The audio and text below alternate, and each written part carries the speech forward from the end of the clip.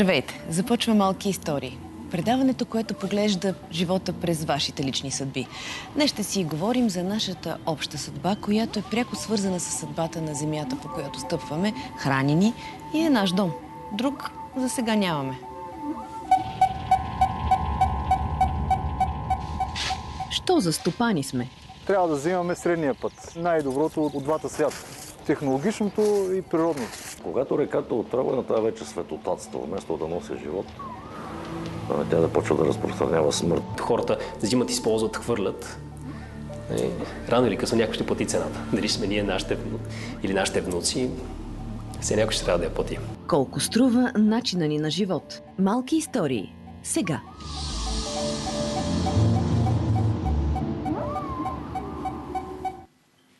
Казвам добре дошли на нашите гости.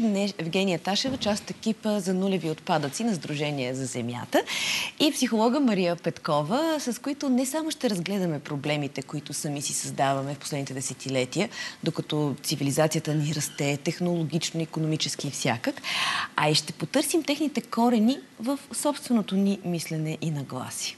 Затова се обръщам първо към Мария, да я попитам откъде тази разрушителна и саморазрушителна сила от човек, която наблюдаваме последните десетилетия наистина. Здравейте! Ами, разрушителната сила, саморазрушителната, първо, че винаги сме я имали и тя е безкрайно необходима. Тоест, това е една наша функция, без която ние нямаше да можем да вървим напред. Защото ние имаме нужда, за да можем да изградим нещо ново, да разрушим нещо старо, както се случва в природата. Всяко нещо, което расте, расте върху останките на нещо, което се е разрушило, разградило и така нататък. Но тук въпросът е в баланса и в това на къде насочваме своята разрушителна сила и на къде насочваме своята съграждаща, защото дисбаланса се проявява и в съграждането. Ние изграждаме неща, които не ни вършат истинска работа, не ни допринасят за развитието и за еволюцията и рушим тези, пък, които са жизненно необходими за това. Има обръщане на мястото, където насочваме тези свои сили. За мен това е една от основните причини. Очевидно баланс е нарушен и то сериозно и сега се опитваме да го оправим. Нали така, Евгения? Възможен ли е нулев отпадък, наистина? Нулеви отпадък трябва да бъде цел нали, към която да се стремим и тя е подвижна цел. Тя никога не може да бъде достигната поне в обзоримия за сега наш живот, защото изисква промени на всякакво ниво. Не е достатъчно само ние лично да поемем отговорност. Трябва да поемат отговорност и държавите, трябва да поемат отговорност и производителите. Всеки има своя дял от отговорността. Добре, нека сега си припомним какво са споделили през годината наши герои с отношение към тази важна тема. Анализа, който правим е, че човечеството, не само българите, супер инвазивно са навлезли в използването на природните ресурси. На практика ние в България стопанисваме, т.е. подменяме естествените процеси в 95% от българските гори и в 100% почти от всички други земеделски площи. Това е страхотни вазни, сме подменили изцяло естествения ход на природните процеси.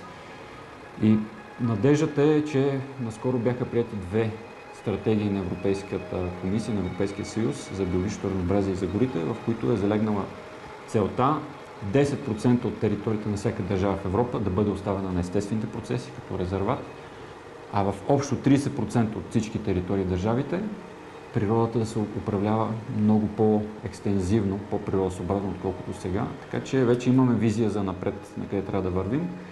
Според мен балансът в бъдеще ще е, може би с 50 години, 50% от територията да ги върнем изцяло на природата, а ние да ограничим човешката си дейност до други 50% и то природосъобразно, за да постигнем баланса между човешкото развитие и естествената природа. В момента ние тотално подменяме, което ще е краткосрочно. В един момент тя ще изчупи. В практиката си съм виждал много неща, загинали птици от болести, от браконьерски отстрел, уловени птици, всякакви, какви ли не случаи.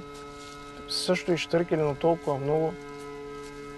Особено под стълбовете, където имаше по няколко птици, буквално бяха на камари загиналите птици. И няма как човек да остане, да остане безучастен, независимо дали,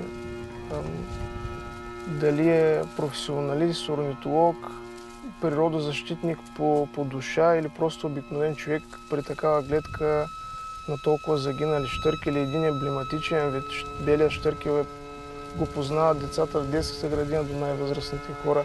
Той е ам, част от нашата народопсихология и хората са много чувствителни на тема на белия щъркел.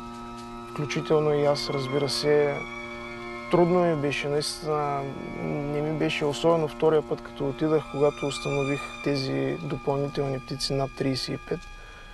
А, беше много, много трудно и надявам се никога да не ми се случи. Не искам да ми се случва отново.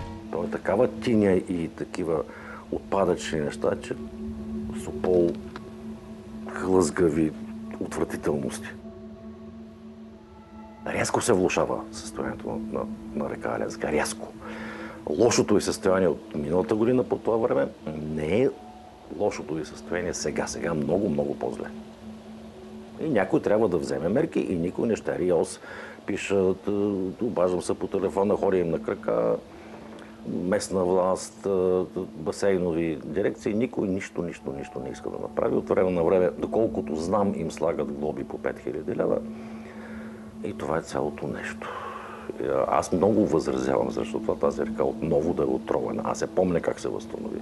И аз знам, че ако спрат да я трогат, до две години ще гмуркам там и ще го рива. А когато реката е отровена, това вече светотатство. Вместо да носи живот, тя да почва да разпространява смърт. Това, което върша до някъде, го върша на инат. Защото е много лесно да избереш красиво място за живеене, много трудно е там, където живееш, да направиш красивото място за живеене. Аз реших в тази отровена девня да създам моето красиво място за живеене. Ще се боря и ще дишам това да се случи. Най-много се страхувам аз да не се откажа, да не се отчая и да изчезна, да изляза от тук, да оставя тази камена къща, да я продам, сигурно ще я купят роми, няма кой друг да я купи. Градинката ще запустее и никой няма да си спомня за моя каскет и за каскета на татко, който седи на гвоздия в антрето и го чака. От това не е много ме е страх. Видяхме хора, които сякаш се опитват да възстановят този баланс, нарушен баланс, за който говорихме в началото, но и са малко на ръба на отчаянието. Има неща, които не виждаме в ежедневието си, но сега ги видяхме. Как ще коментирате тези тревожни картини? Те наистина са много тревожни, изключително тъжни, но за мен е много важно да направя точно този паралел, че реките, които текат в природата, нямат много по различно значение за нас от реките, които текат вътре, вътре в нас. Нашите собствени вътрешни реки, не само реката на мисълта или реката на чувствата, която масово е толкова запушена, задръстена, колкото беше и тази река, която видяхме. И ние не можем да се свържем с усещането си, което всяко едно човешко същество има дълбоко заложено в себе си, че ние реално сме едно. И с природата, и с другите. И живеем в един общ организъм. Този организъм първо е задръстен вътре в нас и външния свят отразява това вътрешно задръстване и затова има толкова много проблеми не само отвън, но и в психиката на хората. И за това всичко е обърнато наопаки. Тук Евгений Дайнов спомена, че ам, заводите, индустрията биват глобявани, когато изобщо се стигне до това. Все пак институциите да си отворят очите с някакви 5000 лева, които за тях предполагам не са голям проблем. Явно парите или глобите не могат да ги оплашат. Евгений, какъв е тогава изхода? Да, да, очевидно не действа само принципа на глобяването, още по-малко пък в България по начина по който се прилага. Производителите всъщност на всякакви стоки и въобще промишлеността е редно да влезне в 21 век вече и да поеме своята отговорност за това процесите, които ползва да са чисти, да не замърсяват, да са максимално съобразени с това, което имаме като планета, защото тази планета не е безкрайна, ресурсите нея не са безкрайни, а да не забравяме, че екосистемите или така наречената природа ни дава не само ресурсите, които ни обличат, хранят, подслон ни дават, но тя също представлява място, което абсорбира нашите отпадъци. Нали? Нашите ненужни, токсични неща, остатъци от употреблението. И всъщност това, което видяхме в репортажите са точно невидимото лице на нашето потребление. Тоест ние като купувачи ни интересува само да си изберем това, което най-много ни привлича, да си го използваме и после се отървем от него, когато видим следващото по-хубаво, по-ново нещо. А, обаче някакси не знаем какво става преди това, т.е. какво е отнело, за да се произведе този предмет и какво се случва след края на полезния му за нас живот. А е редно да се интересуваме от това. И кой да ни го покаже това нещо? Освен медиите, разбира се. Mm. И как, как можем, според теб, Мария, изобщо възможно ли е да променим нагласите на хората, които живеят тук и сега в техния си балон? Ето ние в града наистина купуваме си нещо, изяждаме го, консумираме го, хвърляме в кофата, дори понякога си мислим, че го рециклираме. А то не винаги е точно така, но за това ще говорим по-късно. И след това не знаем какво се случва. Как може изобщо някой да, да ни да ни променим нагласата към а, този вид, към тази верига? За мен промяната е нещо напълно естествено и напълно възможно и някак не просто... На нас ни се струва, че е толкова голямо, че е толкова тежко, че е толкова трудно, че, трудно, че никой не може да го промени. Но за мен е 100% сигурно, че промяна ще има.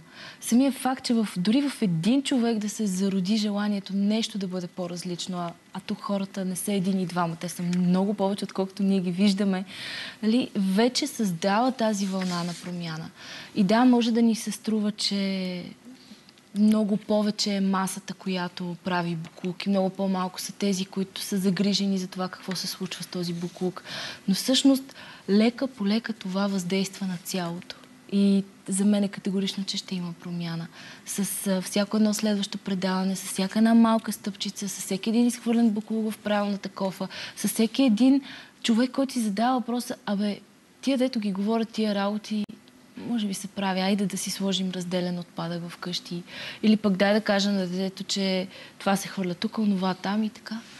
Да, да, не, особено градският човек е ужасно натоварен, забързан. Голяма част от хората, мисленето им е заедно с това как изобщо ще оцелеят да. в тази економическа ситуация.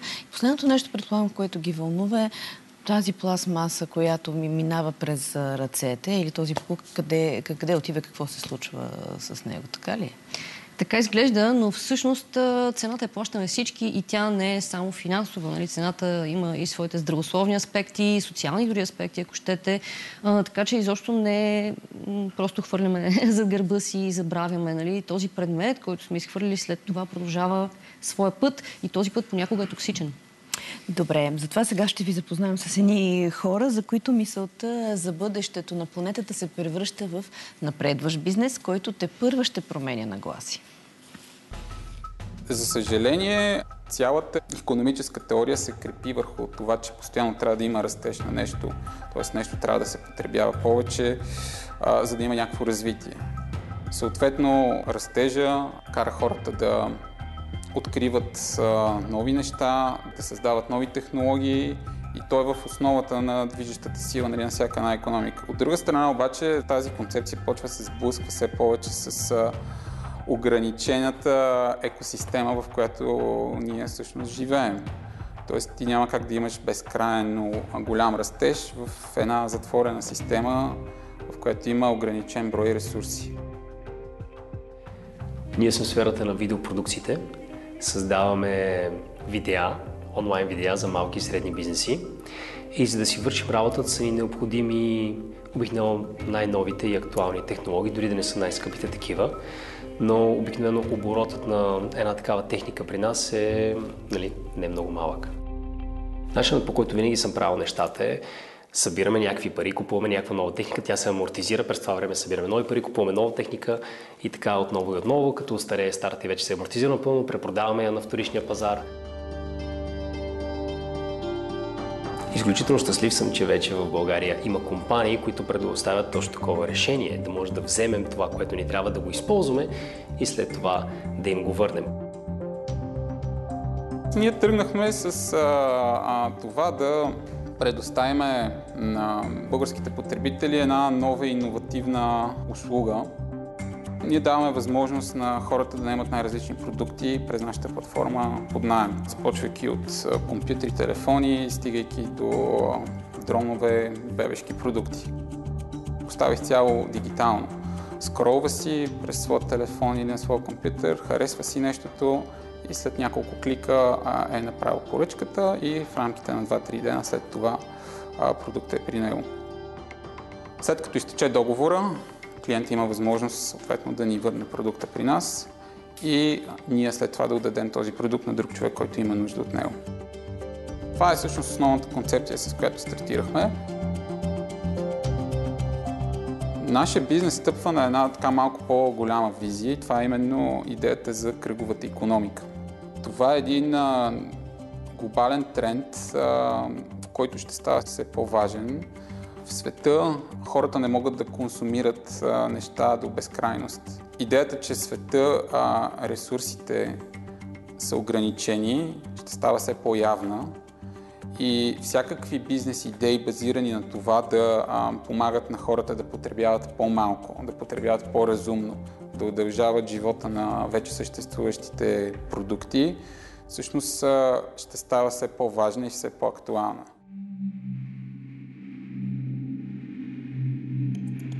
Всяко нещо, което използвам, без значение дали ще е камера, лаптоп, телефон, таблет, са били необходими някакви ресурси да се създаде. Без значение дали ще са от цените изчерпваеми метали, някои от които вече са на, на привършване, или под формата на фабриките, които нали, отново създават големи емисии, които след това ние трябва да неутрализираме по някакъв начин, но всъщност намалявайки количеството и оборота на техника, която използваме, малко или много намаляваме и отпечатъка, който имаме върху планетата. Защото ако в рамките на 10 години ние можем да използваме, кажем, 3-4 пъти по-малко техника общо като общество, защото ако аз сега ползвам нещо и след това някой друг го ползва, реално няма да има нужда да се създава толкова много, толкова много техника. Притежаването е общо взето неизменна част от същността нали, на, на човека. Още от раждането си той се стреми да, да притежава разни неща. Дори на едно бебе, когато му се отнеме детската играчка, то се разстроива. Но ам, човек трябва да се научи да притежава нещата по малко по-умен начин, защото в днешно време хората купуват неща, потиквани от а, реклама, маркетинг, от социални мрежи и много често стигат до покупки, които в последствие съзнават, че са били ненужни. За всяко нещо има последствие. Няма такова нещо като безплатен обяд. Без значение дали плащаме с цената, а, с паричната равностойност или с последствията, които след това трябва да неутрализираме по някакъв начин, за всяко нещо се плаща. И колкото повече не мислим за тия неща и просто се създават безсмислено огромни количества неща, които хората взимат, използват, хвърлят, рано или късно някой ще плати цената. Дали сме ние нашите, или нашите внуци, все някой ще трябва да я плати. Да, все някой ще трябва да плати цената. Да. И вече май я плащаме. Да, плащаме. Така ли? Да. Също видяхме хора, които се опитват да работят по метода на кръговата економика. Но сякаш голяма част от производителите, особено на техника, защото става дума за техника, пречат на, на този процес. Самите а, продукти се правят с толкова малък срок на, на годност, че ти дори да искаш да го дадеш, поне да го дадеш на приятел, той просто няма живот. Между другото, аз наскоро ми се, на мен ми се наложи да изхвърля един хладилник, който имаше само две години гаранция, беше разкошен и то скъп хладилник, защото просто не можеше да се поправи. Защо го правят това нещо? Наистина нарочно ли е? Разбира се, че е нарочно. Това е бизнес модел и това е бизнес модел, който работи на база повече и повече купуване на повече и повече изделия. Постоянно. Нали? И както беше казано в видеото, моделът на кръговата економика е различен. Mm-hmm. И това е стремежът, който Европейския съюз и ние като част от него всъщност изявяваме нали, за напред. И за да се случи това нещо, трябва много да се промени модела на предлагане, модела на производство и модела на потребление. Какво имам предвид? В случая тези, тези хора, адмирации към тях, се опитват да правят нещо, което всъщност производителите трябва да правят. И това е така економика за взимане под найем на нещата. Тоест, и това е модел, който вече отдавна се дискутира в бизнес средите. Става въпрос за това, че си купувате, например, не а, осветителни тела, а часове светлина. Тоест, фирмата, която предлага тези осветителни тела, се грижи когато те излезнат от строя в гаранционния срок, да ги подменят. Тя ви осигурява N на брой часове светлина. Оттам нататък не е ваша грижа как да поддържате продукта, да го поправяте или да го подменяте, защото фирмата има тази отговорност. И това е бъдеща, един от моделите бъдещи, които са обещаващи за кръговата економика да се случи. И държа да отбележа, че всъщност важно за кръговата економика е, че рециклирането е някаква последна отеха. Това е гробището преди съвсем нали, да, да унищожим един предмет и да излезне от полезния цикъл на материали и вещества. Така че всъщност това е най-низкото стъпало, към което трябва да се стремим. Всъщност трябва да се стремим много повече първо като потребители на индивидуално ниво да осмислим имам ли нужда от този продукт трябва ли да си го купувам? Да го мога ли да го заместя? Да, мога ли да го заместя? Мога ли да го споделя с някой? Нали? Друг модел е пък, който е повече в ръцете на хората, вече не е толкова на производители, са така наречените библиотеки за инструменти. Да кажем, аз нямам нужда да имам бор машина всеки ден от, де, от годината. Аз не искам, искам да я ползвам, може би веднъж или два пъти. И такива библиотеки вече съществуват нали, в общества, където може би взаимното доверие между хората е малко по-силно, отколкото в момента у нас. А, но са много обещаващ модел също така, наистина. Uh, и оттам нататък вече, как, както казах, производителите имат своята отговорност да започнат да пускат на пазара изделия, които са годни за новото време, които са годни за апгрейдване, поправяне, а, а, така че да могат да бъдат използвани във вида, в който са, като предмета, който са максимално дълго време. Като каза доверие, а, тук в, на наш, по нашите географски ширини сме много страни. От една страна, времето на сота със сигурност ни е а, по някакъв начин променило и, и нуждата от притежание може би се засила последните години, когато вече имаме тази възможност. Ако едно време нямаше нищо по магазините, сега вече има много неща и ние искаме да ги имаме, ако можем да си ги позволим. А пък има и хора на Запад, където пък са още по-завладяни от това желание да притежават. Може ли се каже, че в българина има едно такова малко недоверие към а, чуждото или към това да вземеш нещо под найем, все едно не си достатъчно богат, че да, да го притежаваш? По принцип не знам дали само в българина, защото нямам такава база за сравнение с другите народи, но мисля, че това е една чисто човешка черта. Да искаш да имаш, за да си сигурен, че ще е твое, за да знаеш, че никой няма да ти го отнеме, което отзад стои страха, страха от загуба, страха, че ще остана без и като остана без ми е заплашен живота и като ми е заплашен живота аз нямам сигурност, не знам защо изобщо да го правя. Всичко това е една много дълбока потребност ние да се чувстваме, че имаме право да живеем и затова взимаме, притежаваме и купуваме и правим, което само по себе си не е лошо, но в дълбочина защо живеем? С какъв, какъв, какъв е смисъл на нашия живот, освен да го съхраним и да го запазим? И в мига, в който си зададем по-дълбокия въпрос, защо го имам този живот, тогава се осмисля и придобива нов нюанс, нов оттенък и нов смисъл причината, също и средствата. Тоест, средствата са тези, които определят целта. Никога целта не ги оправдава. Те я определят. Да, въпреки, че много хора мислят обратно. А ние още от деца казваме, това си е мое. Мама ми го купи, тати ми го купи и притежавам го. Тази... Мое, защото но... това е символ на любовта на мама и тати към мен. Всичко е в любовта, в свързването и в доверието. Но когато вече пораснем и можем да си го купим, пак искаме да покажем се едно на света. Вижте какво имам и то е новото, и то е последното. Особено с, с смартфоните, които да. може би Евгения ще каже са едни от най-големите замърсители да. в момента, защото непрекъснато излизат нови нови модели. Няма да казваме на коя марка всяка година. И да го притежаваш, това е признак на благополучие.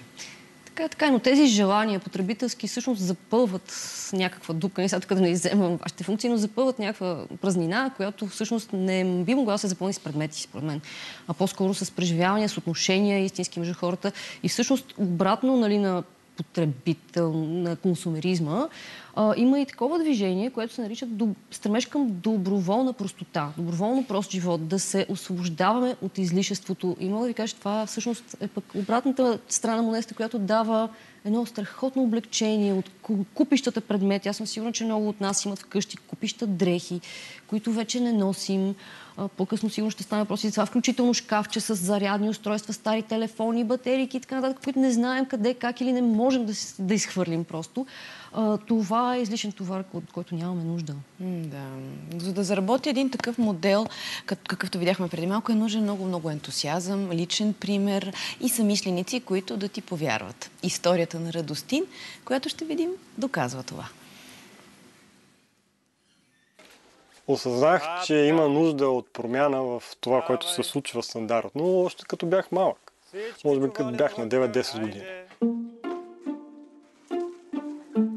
Изведнъж ти къде казаха за, за кенчетата. Ето тук почва да, да правиш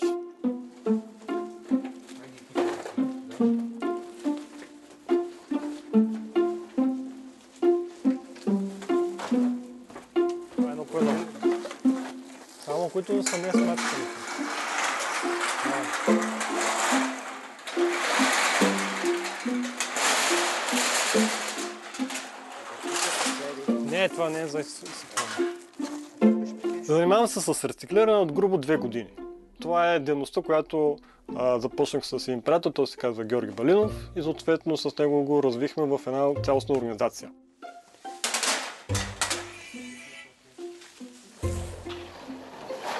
Нещата, които можах да намеря преди две години за рециклирането, бяха само видеа, статии, клипове и най-вече от чужбина. Нищо от което е наше родно. И това много ме натъжи, защото аз искам буквално да почне да се случва нещо и то в моя град, в моя квартал, с моите съседи нещо да създадем заедно. И се огледах, нали, къде какво се случва. Попаднах на сайта Precious Place, който е международен сайт. Говори се само за рециклирането, показва се как може това да бъде правено собственоръчно в гаражни условия. И това супер много ме вдъхнови, че мога и аз да го направя за себе си, за моите приятели, съседи и познати. Затова се разровя къде в България има такова нещо. Се казва, че в София нали, има един човек, който се казва Георги Балинов и той вече е направил машините, които те препоръчват да се направят. А те позволяват много повече а, обем от пластмаса и ресурси да се трансформира в ресурс, който може да се използва. Това са шадилки, инжектори, екструдери, машини, които са за преработка са на пластмаса. Та с него се обединихме. Цяла една година имахме дейност, която е за събиране на пластмасата, нейното трансформиране, изработване на предмети и техното предлагане и популяризиране в цяла България.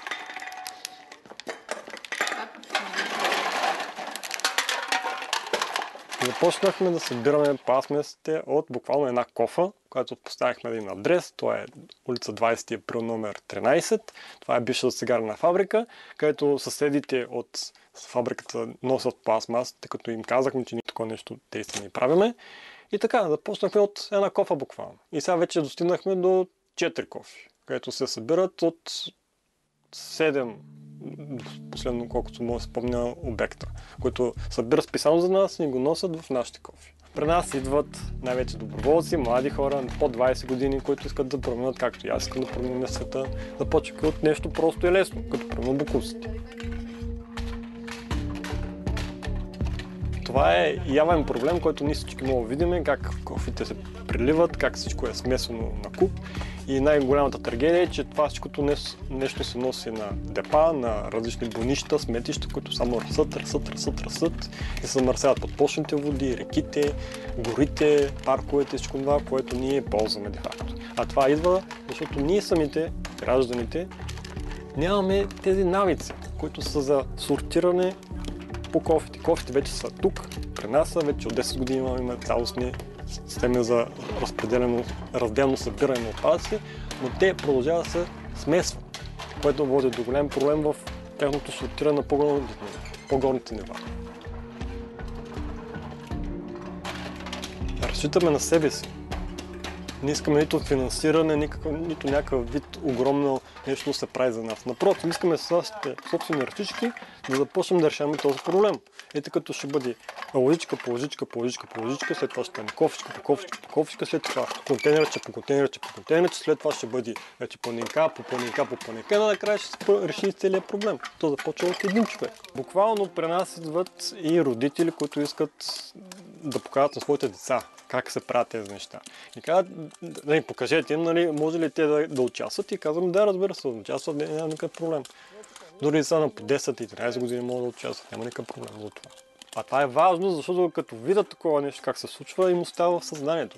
Те знаят какво коства след това тези неща да бъдат сортирани, преработени там подобни неща. И вече като трябва да изхвърлят те своя буклук, го правят по правилния начин. Създават се навици. Така, съберете се! Започваме да говориме по преговора. Хайде! Това какво беше? Главата. Какво е главата? Продължаваме да тъпчеме чувалите с материал, про- продължаваме да ги даваме столични суровини. Това е. Това е едно постоянно хоби, което позволява да правиш фитнес с пластмаса, реално погледнато. Вместо да ходиш в а, залата и просто да бъхтиш там някакъв чувал или пък да буташ някакви други неща, използваш ги за вдъхновение на хората, използваш ги за собственото си вдъхновение. Ре, Реално като намачкаш 5-6 чувала и си и си аха, идва ти пауър отвътре. И се лягаш с чиста съвест, че си помогнал нещо добро да направиш за планетата, за своя квартал, за своите приятели, за всички. Много пауър, както казва Радостин, има в него много сила. А, Евгения, ти си специалист специално по рециклирането, много наясно си с това как трябва да се рециклира. Тук видяхме а, едни деца, които а, страшно много помагат за това рециклирането да става по-лесно, но не е ли много къртовски този труд, който видяхме? И като човек преровил доста тонове отпадъци, не бих казала, че е точно къртовски труд. Това е много възпитателен труд, защото докато човек го прави, нали, не е и толкова тежък. Те не са тежки неща, пластмасите и кенчетата. Човек се замисля, докато, докато ги сортира, докато работи с тях, почва да си мисли, добре, защо са толкова много, нужно ли е да са точно в този вид, не може ли всъщност да се пълнят повторно, например, стъклени бутилки, не може ли да има наливни напитки и така нататък. А, така че и видях, че това, което всъщност обсъждат заедно като група е нахвърля далеч процеса на логистика и рециклиране, което е страхотно. И пауъра, така да се каже, от такива инициативи идва именно от отношенията и от това, че се гради една общност, която прави нещо положително заедно. На мен ми направи страхотно впечатление, че те събират от квартала и съседите от квартала имат доверие повече на тях, отколкото на евентуално цветни контейнери, които има, може би, в квартала за разделно събиране на същите тези отпадъци. А, така че това показва колко е важно доверието, колко е важно личните отношения между хората, за да знаем, окей, това наистина отива където трябва, случва се каквото трябва с него. Това е страхотно за запалване на хората към по-малко отпадъци.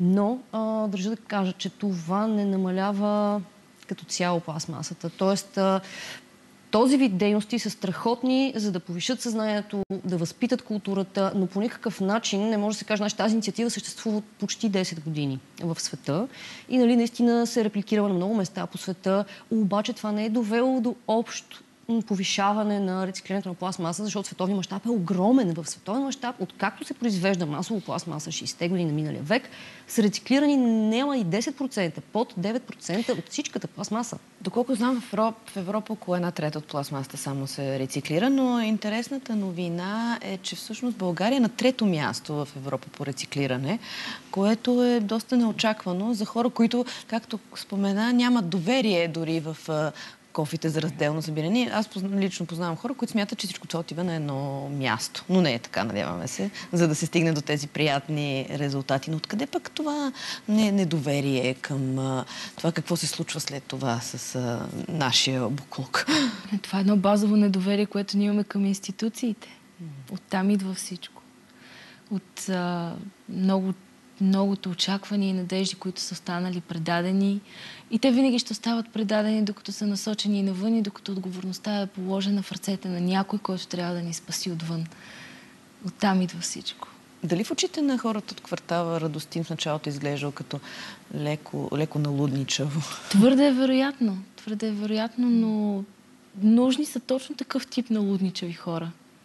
Връщам се към рециклирането, защото е много важно да знаем какво се случва с една рециклир... чаша, да речем от рециклирана пластмаса. Започнаха да се появяват дори на един плаж по Южното Черноморие. Видях, че всички чаши са от рециклирана пластмаса. Обаче тя може ли да има трети живот? Тоест, когато се рециклира нещо, възможно ли е то да бъде рециклирано още веднъж и още веднъж и така нататък? Зависи от качествата на самия полимер, който се ползва.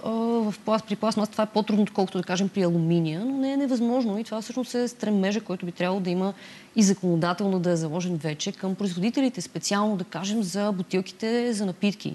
Всичките тези галонки, които виждаме се търкалят по деретата и така нататък, в тях трябва да започне да има 30% рециклирано съдържание след, не, не, не след много дълго време, след 7 години.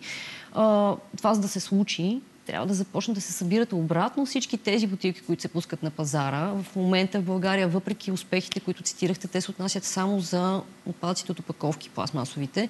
Но в действителност виждаме гледки като Искърското плаващо сметище преди почти две години, а, които показват, че има една скрита част от тази картинка. Нали? Тези успехи, които отчитаме към Евростат, е, очевидно не са цялата истина. И очевидно А да се успокояваме. има някакъв дял опаковки, които избягват така официалната система и попадат сред природата или, не дай си Боже, отиват да бъдат изгаряни в различни съоръжения в страната. Така че тази е тъмната страна на, на статистиката, която не се вижда, за жалост. И нещо друго при процеса за рециклиране е много важна безопасността. Когато говорим за проекта Ценна пластмаса, доколкото ми е известно, международната нали, платформа казва, не трябва да се събира ПВЦ. Защото ПВЦ е една от пластмасите, която е особено проблемна, но по принцип всички пластмаси при топене, което е част от процедурата, която ползват ценна пластмаса, при топене те отделят а, дим, дим така, или, т.е. Невидими да, да. газове, да, а, вдишването на които не е безопасно. Тоест, трябва много, много внимателно да се подхожда при този процес в къщи. Как се казва, не го правете без защита в къщи. Трябва да са много добре вентилирани помещенията. Самия полимер трябва да е абсолютно отделен по вид и по цвят и така нататък. И най-вече нали, да, не се, да не се претапят на пластмаси, които не знаем какво има в тях. Аз съм сигурна, че колегите спазват тези мерки, но е много важно да се знае това, че всъщност все пак тези изделия, които ни заливат и особено опаковките им, предимно основната им цел е маркетинг, брандиране и така да ни се хареса на външен вид, но когато е произведена тази опаковка, не е мислено дали тя в нея има токсични мастила или други добавки, които в последствие при претапяне биха причинили доста сериозни респираторни проблеми, имунната система поразява. Това са летливи органични съединения, които ако нямаме специална маска, могат много, наистина да нанес- нанесат неприятни поражения. А има и много неща, които ползваме, в които дори не подозираме, че има пластмаса, но и за това ще си поговорим по-късно. А сега ще ви запознаем с следващата ни малка история, която е за едно голямо момиче, което вижда притеснителната кар- картина отвън, отвъд красивия живот в големия град и се опитва да я промени малко по малко.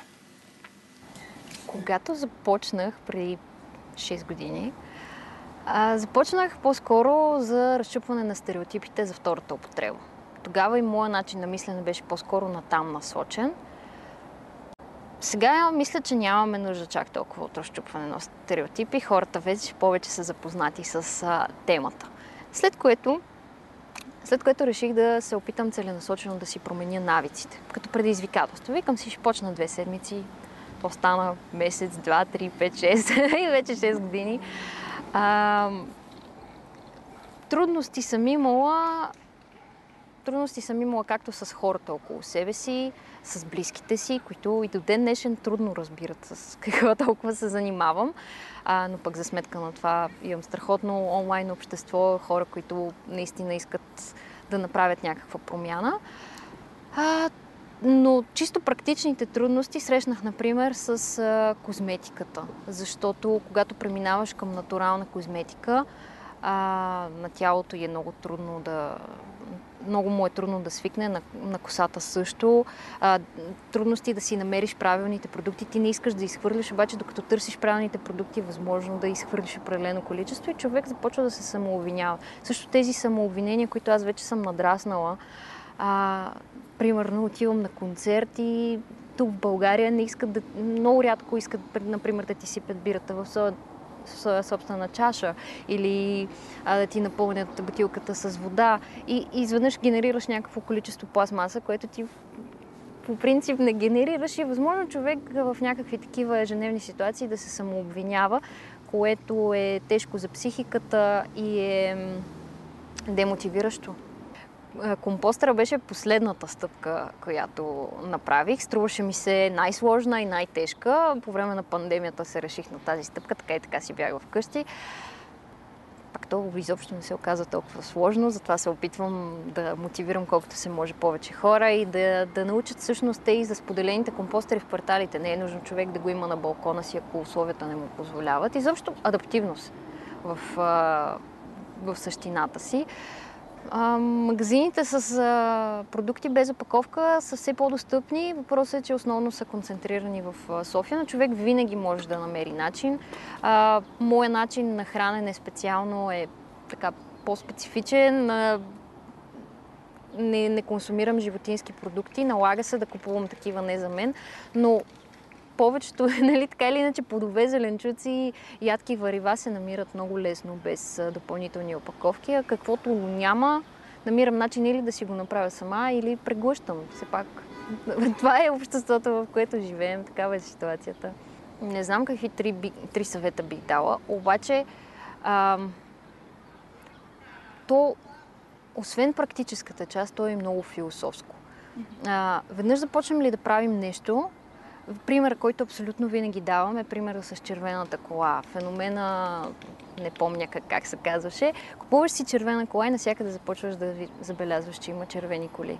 Тоест ти започнеш ли да правиш нещо, съзнанието ти автоматично си отключва а, вратичка да приеме новото. Да, че по-екологичен начин на живот не е крайна цел. Готово, постигнах перфектната нула и край точка, вече съм перфектен. Няма такова нещо. То е а, възходи, падения, мотивация, демотивация. Абсолютно е нормално това да срещаш разбиране или неразбиране, да се стремиш да действаш малко по-масштабно извън пределите на дома си. Това са абсолютно нормални неща.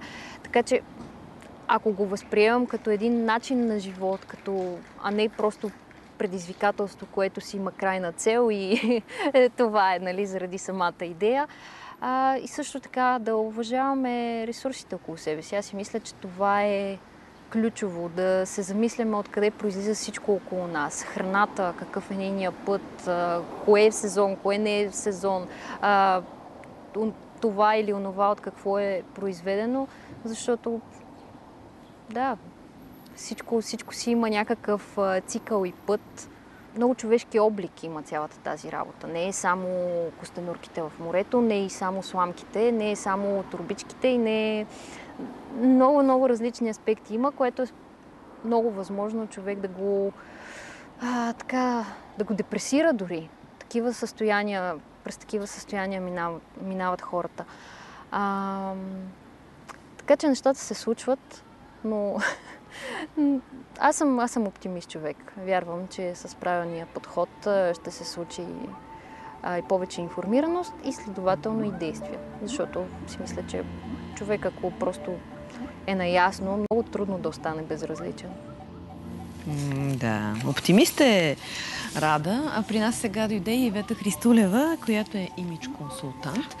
С разкошна рокля обсъдихме, че роклята естествено е втора ръка, което е чудесно. Ето един човек, който по този начин и по много други се опита също да допринесе за намаляването на отпадък, защото всъщност модната индустрия е един от най-големите замърсители. На второ място е след петролният бизнес. На второ място е по замърсяване на планетата. Защото всъщност в много от тъканите, включително и в нашите рокли, има петролни продукти, нали така? Има нишки. И които... това, багрила, всички, целият процес а, изисква и много суровини, които вода, които правят нали, целият този процес скъп и много така оттежняващ екологията така да го кажем.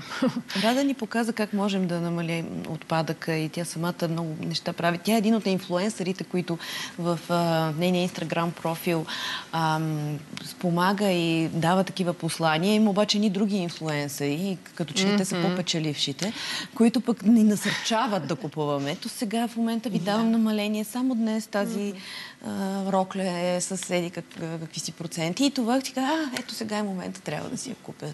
Това не е ли най-големия брак това като е заради пари всичкото, да. заради печалбата, на тях им се плаща, те изкарват а, нали, някакви пари заради това нещо, което рекламират, марките им дават, обличат ги и всякакви варианти, които ги тласкат към това нещо, нали, купувайте, купувайте.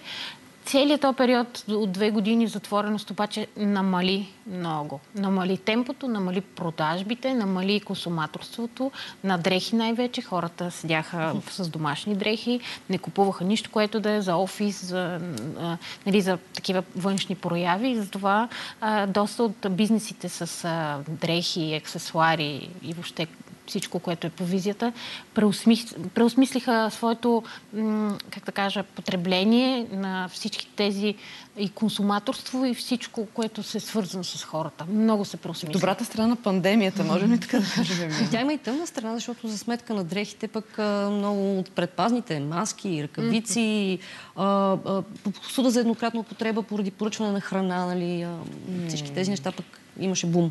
Да. Даже забелязала съм заведение, където всяка една филийка беше опакована в нейлоново пликче за, за съображение за, Да. за сигурност, което беше просто Безумно. чудовищно. Връщаме се обаче на модата. А, ти си донесла ам, разни етикети. Това е, може би, Мгм. много важно да четем етикетите, когато все пак си купим нещо. Да, ново. когато избираме, е нужно да знаем какво избираме. Ако искаме да сме съпричастни и да помагаме в а, опазването на околната среда, това е един от начините да избираме продукти, които са направени с някакъв път, който да е устойчив и да е екосъобразен, а не да купуваме каквото ни попадне. А, рециклираните материи много навлизат почти всяка втора, трета дреха, ко- която мина през мен и виждам, е с такъв етикет. И доста добре се а, котират, така да се каже. Много добре са обработени, много добре пасват на телата ни, няма нищо, което да е вредно или пък да е, а, не знам, да, да се усеща като се едно е някаква дреха второ, трето качество.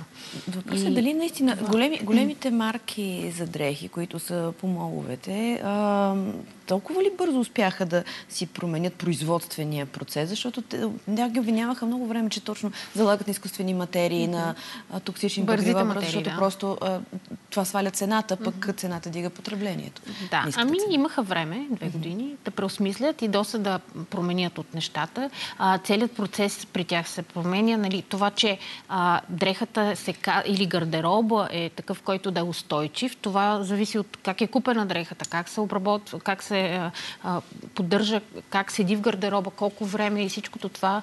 А, и марките го, вече го предлагат нали, с а, дълъг живот, не да е един сезон който може да е и две седмици, ами да е поне 2-3 години и да тази материя да е по-устойчива във времето, за да може да, да се използва. Докато преди сме имали 4 сезона и 4 варианта за купуване на дрехи, а сега марките бяха направили 50 такива сезона. Микро, които а, точно с тези начин на реклама а, про, така прокарват и ако не си го купиш, вече си изостанал и си крайно немодерен. Но мисля, че се обръщат нещата и се подобряват след а, спирането след две години и забавянето на темпото. Много е. Това е психология. Да, точно ще да попитам Мария как а, би тълкувала това. Аз само седя тук и, се, и слушам и се радвам, че все повече хората говорят за психологическата страна на нещата и все повече осъзнават, че тя е, може би, в ядрото на всичко това. Ами, тая необходимост да сме винаги в крак с някаква мода, хората да ни харесват, да сме супер вау, мега с най-новите джаджи, с най-хубавите дрехи, да следваме някакъв тренд. Това е, това е много болезнено. Това е толкова болезнено, защото отдолу седи усещането, че ако аз... създава напрежение. Ако аз не съм облечена добре, ако аз нямам най-новия телефон, ако аз не направя някакви неща, които индустрията ми е внушила, аз няма да получа признание, аз няма да получа обич, аз няма да получа приемане, този, онзи и тези онези няма да ме харесат, няма да ме видят, няма да ме забележат и аз оставам сам.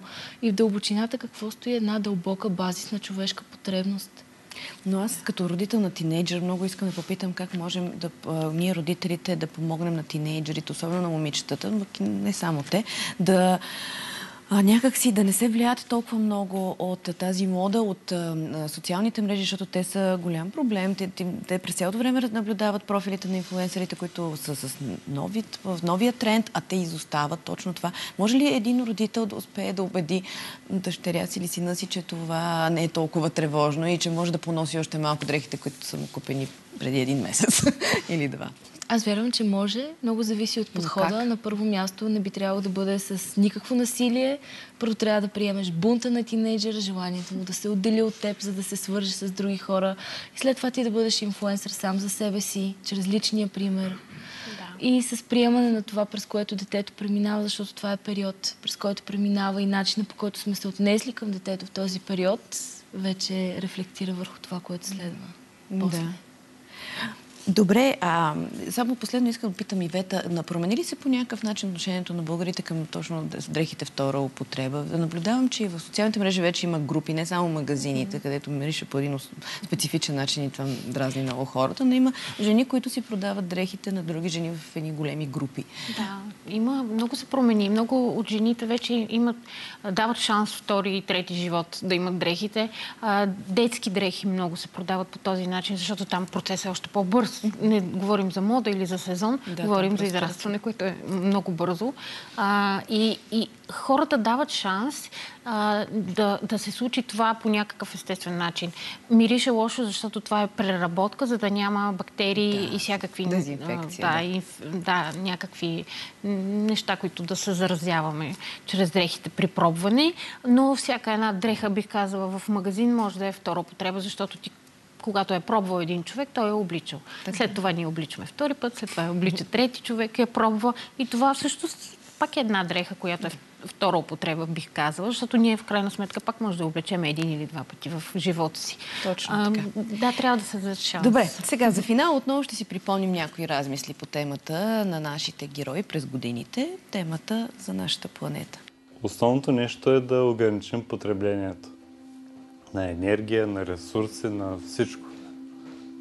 Защото американската мечта се оказа не чак толкова а, полезна за нас самите.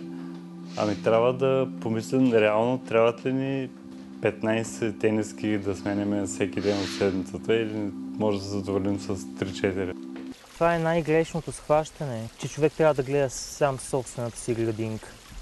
Мисля, че единственият начин да може да се развиваме в цивилизационен план и като общество и да, да не звучи толкова глобално, но да, да развиваме дори някаква местна общност, това е свързано с сътрудничество и хората да, да си помагат, да се подкрепят и, и да гледат в, в някаква обща посока за благото на всички, а не само на избрани, на определена прослойка. Ако убедим повече хора да събират разделно, да използват отпадъците по втори, начин, т.е. да ги използват и после, и после, и после, и да ги влагат в нещо, което е полезно за тях, това ще е най-голямата, най-голямата победа за нас. Нямаме сектантски нагласи, трябва да взимаме средния път. Най-доброто от двата свята. Технологичното и природното. Тази постройка беше стара с друг покрив. Аз се затворих, направих си нов покрив. 8 см тръстика съм положил. Заимствам от английски, от, от холандски къщи. Природата дава много. Просто трябва да се научи човек да я слуша. Гледаме природосъобразно и да живеем. Имаме доста проекти, започнали сме много неща. И не ми остава време. Две ръце имам все още. Не съм измислил как да почна из краката да работя. Човечеството се възгордя, каза аз съм господар на всичко. Веднага дойде алчността. Който каза, щом сме господари на природата, айде давай. Имаше едни клипчета по CNN даваха, как природата казва, а, сте ви, аз динозаврите разкарах, а аз няма да разкарам, ако прекалите.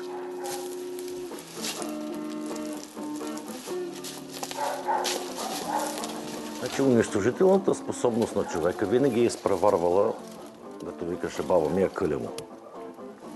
Винаги човек е измислял начини за унищожаване на човеци и на природа много по-бързо, отколкото е озрявал как да се укротява.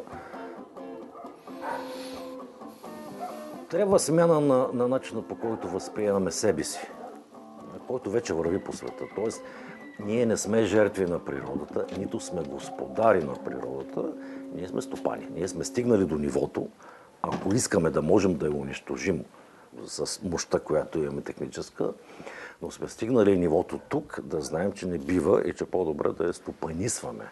Както се стопанисваше гората, както аз и стопанисвам двора, и то е част от природата, този двор, но аз си го стопанисвам. Това трябва да разберем, че е, сме стопаните. И сме временни. Значи ние трябва да стопанисваме така, че нашите деца и децата на техните деца а, да имат да имат някаква природна среда. Оптимистично звучат като че ли тези хора. Е хубаво, че ги има. Финални коментари. Спомена за думата мислене няколко пъти. Как променяме, Мария, мисленето? Променяме. Ами по необходимост. Абсолютно всичко се случва по необходимост. Идва болестта, човек си казва защо съм болен, защо ми е зле. Виждаме, че реките ни са задръстени, природата умира, животните също, ние сме болни и си казваме защо става това, какво се случва. И така по необходимост мислим, търсим и се появяват едни млади хора, много напредничави, които измислят технологиите или се оказва, че то вече е било измислено някога. Да, както канчето, което носи Да. Евгения, за да ни покаже, че можем просто да не ползваме пластмасови чаши.